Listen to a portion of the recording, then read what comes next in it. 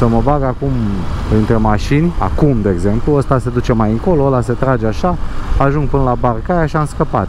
Nu realizez că am făcut o tâmpenie sau o chestie în care dacă nu mă ajutau ceilalți, nu mai se alegea nimic de mine. Și o țin așa. Și atunci transform pericolul într-o rutină.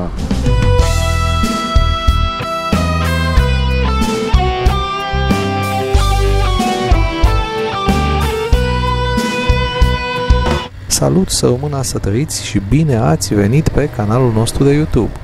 În episodul de astăzi vă vom prezenta partea a doua a călătoriei care are ca destinație localitatea de pe malul Mării Adriatice, Opatia, din Croația. Cred că aici sunt uh, din astea de măslini sau stâne. Stâne de măslini? Nu, nu, nu. Sau, am zis. A, sau. Mamă, ce arid arată toate dealurile astea. Muntoase. Oh, oh, oh. Era de 40. Da, e, m-am încăpățânat să o iau mai pe exterior și uh, a fost ok. Păi nu, e bine. Am zis doar că era de 40. Tunel, dă ochelarii jos. Ah, mare tunel. Uh, am mai făcut și toată procedura asta de urgență. Eu de unde să știu? Scria tunel. Scria tunel, da. Iar eu n-am zis că ai luat tu curba într-un fel sau altul, am zis doar că scria 40 și era de 40. Știu, nu, am simțit-o și eu, dar am reușit să intru cum trebuie în ea și a fost ok, n-am mai, n-am mai frânat așa pe fricoșeală. Dincolo de glumă, pentru toate categoriile de motocicliști este binevenit traseul ăsta. Adică, pentru cei la început de drum sau care sunt în primii ani de motociclism, cum suntem noi, dacă ați mai urmărit și pe YouTube sau ați mai făcut și alte cursuri, că nu știu, cel puțin pe mine și pe Marina nu ne-au învățat în școala moto cum să abordăm virajele, că nici n-aveau unde prin București. Pe da, de fapt despre asta e vorba, că n-aveau unde în București. Este, pentru această categorie, este o șansă extraordinară. Mergeți în ritmul vostru, stabiliți-vă uh, distanțele între locații de bun simț, nu mai mult de 300 de km, că pe urmă nu mai înțelegi nimic din călătorie din cauza oboselei. Sunt prea multe elemente de noutate, uh, ploaia, traseul, traficul și na. Gândiți-vă ca la un uh, nou născut sau ca la un nou angajat care se îndeletnicește cu timpul pe meseria lui. Nu devine profesionist în primul an, așa e și pe motor, dar uh, cel puțin Croația au niște drumuri foarte bune, deci drumul te lasă în pace să încerci să-ți faci un traseu, să adaptezi viteza așa cum o simți, cum poți și în așa fel încât să vedeți aceste banale peisaje. Iar pentru cei experimentați, cred că este heaven să vină motocicletă potrivită să dea pe aici cu un 140 pe ploaie și cu bagaje și cu prietenii lui cu corecle de animale subacvatice este superb. O spun așa pe un ton ironic, îmi permit pentru că motocicletă potrivită este prietenul nostru. Dar dincolo de asta, pentru cei ca el, care au cel puțin 7-8 ani de motociclism, Cred că e o nebunie. Nu știu dacă atunci când voi avea 7-8 ani, dacă nu ne lăsăm, dacă știu și eu, nu ne plictisim. Deși la cum văd că o ducem, nu știu dacă o să ne plictisim. Nu știu dacă atunci voi lua și eu voi aborda cu 140 cu Marina, vom fi cu genunchii zdreliți pe jos. Pentru, eu nu cred, pentru că deși conduc de foarte mult timp autovehiculul, v-am mai spus, eu merg cu o viteză care să-mi ofere un confort așa. Probabil eu ca persoană sunt o persoană mai... Și am luat asta într-o mare viteză, m-am trezit în curbă. Foarte bine. Înseamnă că te relaxezi. Mă relaxasem prea mult, mă duceam spre parapet. Bine, n-am depășit uh, mijlocul, dar aia era traiectoria. Păi nu te uiți la el. Păi nu m-am uitat, tocmai asta e, mă uitam în zare și mă duceam în zare. Nici zarea nu este un obiectiv de atins. Bine, teoretic acolo trebuie să ajungem, dar pe un drum asfaltat, nu zburând cu motocicleta, că este o distanță mult prea... Lasă zarea filozofilor. Da, Lui fratele. Noi să ne luăm niște azimuturi mai pământene. așa ar trebui. Ce ziceam? Ziceam că eu sunt un om comod. Care greu iese din ritmul lui, deși dacă vom fi sănătoși și vom avea posibilități financiare, ia uite frate, așa se ia curba. Uh, Buleandră. Motocicletă potrivită. Sau motocicletă potrivită, da. Uh, vom merge și la Nord Cap cu motocicletele. Salut băieți, ia uite băieți, în schimb merg mai ca noi.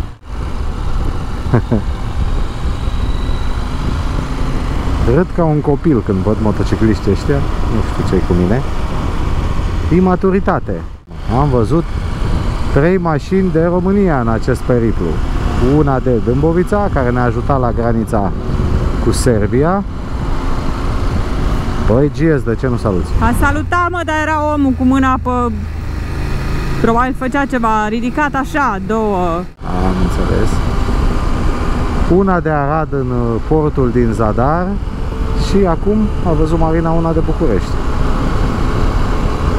Români, veniți în Croația. Ce să zic, sunt impresionat. Am mai zis, o să mai zic. Și nu de serpentinele astea, că v-am mai spus, atât eu cât și Marina, aici vorbesc și în numele ei, nu mergem pe motocicletă neapărat de dragul motocicletei, de dragul de a scoate performanțe din motociclete. Mergem pentru de dragul plimbării și pare așa o plimbare mai interesantă. Poate faptul că sunt afară și mă, și mă poate ploua sau că mi este foarte cald și sunt afară și sunt afară și trec pe lângă acel câr de mașini, asta înseamnă că am uh, dereglat puțin uh, punctul meu de comoditate, l-am mișcat un pic mai sus. Dar nimic mai mult. N-aș lua-o pe acolo pe sus cu motorul încă. Doi. Doi. Doi. Să mă lovesc, să-mi sucesc glezna, chiar dacă se face bine. Nu aș fi făcut asta nici la 20 de ani. Oameni și oameni. Na, ce să mai zici?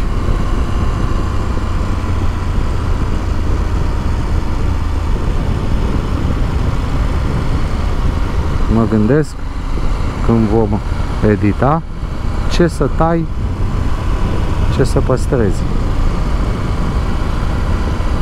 Peste tot este minunat.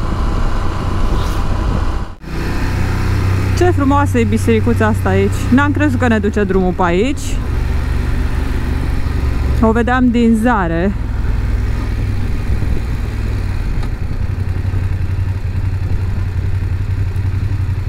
Aici vine vreun feribot ceva, vezi? Îmi place că nu e foarte aglomerat.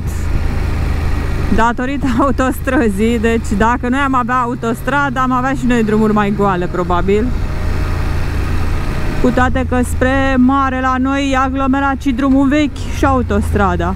Bine, avem și, am mai vorbit noi, 10 locații, dintre care cu accent este Mamaia, Năvodar mai nou. da? E un fel de mamaia mai uh, low cost nițel. Pentru că până la urmă e aceeași plajă. Da, e aceeași mare. Uite ce frumos e jos acolo. Atenție că vine cerbul și sare în apă. Ce face? De unde vine? Face, face plonjează în apă? Face o baie, iese brrr, așa dă din coarne și se întoarce. Cerbii nu au voie? Cum?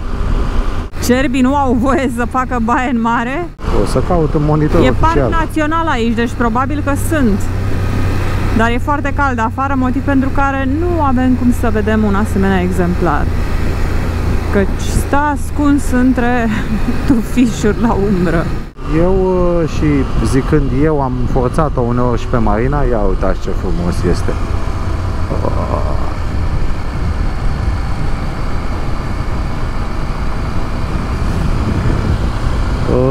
Am forțat-o și pe Marina să ne uităm împreună la acest Pavlin, acest bulgar care are un canal de YouTube. Poate și pentru faptul că vorbește o engleză pe care noi o înțelegem mai bine, că na, Europa de Est, avem noi accentul nostru, iar Pavlin este un nene așa un pic mai inetate decât noi, care merge de la 17 ani pe motocicletă, deci la care 47 are 20 de ani de motocicletă și pe care l-am văzut cu acel tenere și cu cel vechi și cu ăsta că nu depășește pe astfel de trasee 70-80 iar pe autostradă nu depășește 120 și dacă nici Pavlin nu are experiență bine, adică mă gândesc că atunci când merg așa nu găsesc o justificare. Zic, băi, sunt oameni care așa să simt bine la viteza asta. Și uite și unul experimentat. De asta e posibil că dacă o ținem așa peste 5 ani să merg la fel. Pentru că așa mă simt bine. Oricum asta este o aberație că o poți controla, n-ai ce să controlezi aici la două roți, la peste 100 de km la oră. Și din păcate avem exemple cu maestri care nu le-au mai controlat. Asta cu experiența și controlul la peste 100 la oră e o aberație și să se supere pe mine toți experimentații. Avem un prieten bun care era să își piardă viața acum de Paște că ploaie, că 130, că tirul din față, tot una este. N-ai ce să controlezi. Atunci când îți vine obstacolul, vei frâna. Și ea nu poate să rămână pe o a treia roată. Unde te duci tu, unde se duce motocicleta, nu știu, nu știu. Și n-are treabă cu experiența. Da, poate dacă ai tot căzut 10 ani și într-al 11-lea ai o situație în asta mult la extrem, cazi mai bine, nu îți rup chiar toate oasele, dar nu există un manual. Așa că până una alta bătrânește. Și uitați, admirăm frumusețile Croației. Azi am vorbit cam mult, Marina, semn că îmi revine glasul. De fapt, cred că transformi pericolul în rutină.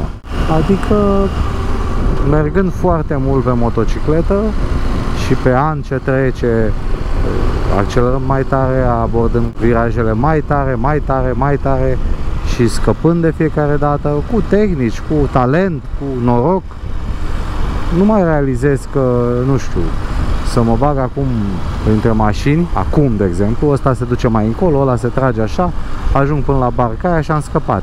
Nu realizez că am făcut o tâmpenie sau o chestie în care dacă nu mă ajutau ceilalți, nu mai se alegea nimic de mine. Și o țin așa. Și atunci transform pericolul într-o rutină. A, da, de fapt așa se merge cu motorul, eu sunt doar un motociclist, că doar nu o să aștept, mă bag între ei, mă duc, că doar nu o să stau cu ăștia aici. Și zici sau îți spui, dacă îți spui, dacă te gândești, că unii poate nu se gândesc, omule, m-am descurcat. Și într-adevăr, cu trecerea anilor te sperii mai puțin, vezi situațiile se repetă situațiile prin care treci și nu te mai surprind nici curbele, nici mașinile, nici căruța, nici duba, nici o frână în față. Dar asta nu înseamnă că pericolul a dispărut. Ia uite Marina, ce zici tu ce aici? Aici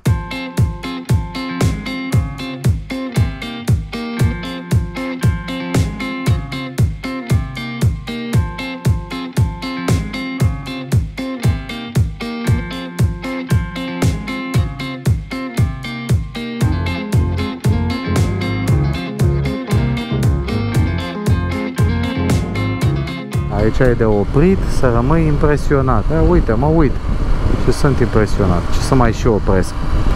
Dacă mai și opresc, rămân șocat, mai mult decât impresionat. Nu mai îmi revin.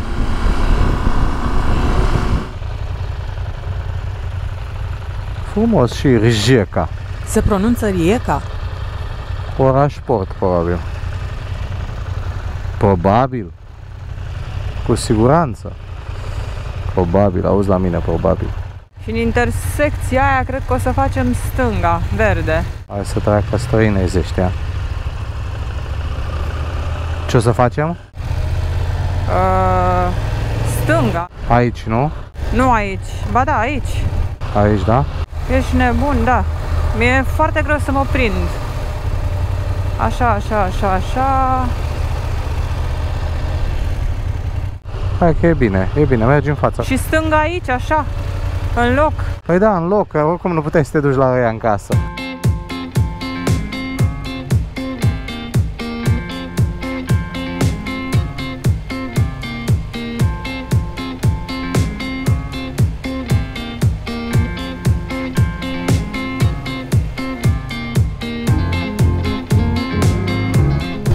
City Oh, Center. ce frumos, da. Chiar frumos. Destul de mare. Da. Mă duce cu gândul la Berlin, știi? Nu știu de ce. Pur și simplu. Wow. Nu pot să mă uit și eu să admir că cetățenii se avântă spre carosabil. Acum zici că sunt pe Bulevardul Tomis. Numai că Bulevardul Tomis e cu sens unic, parcă. Nu mai știu. Am tot felul de flashback-uri. Mai e, domnule. 7,2 km până la Opatia. Și acolo să vedem unde e, că de-aia ziceam eu să tragem pe dreapta undeva, dar n-am avut unde. Opatia, uite. Am ajuns aproape de destinația noastră. Fapt pentru care noi ne vom opri aici peste puțin timp și fizic, pentru că am condus destul, dar și filmulețul nostru se va opri aici. Vă mulțumim că ne-ați urmărit. Sper că ați rămas măcar jumătate fascinați din capacitatea întreagă de fascinare din care dispuneți, văzând ceea ce v-am arătat astăzi. Lăsându-vă clasicul îndemn să fiți veseli și sănătoși, vă pupăm și să ne vedem în episodul următor când ne vom apropia tot mai mult de puncte-puncte. Pa, pa! Pa, pa! Mi-e greu să trec în față. Stai în spate,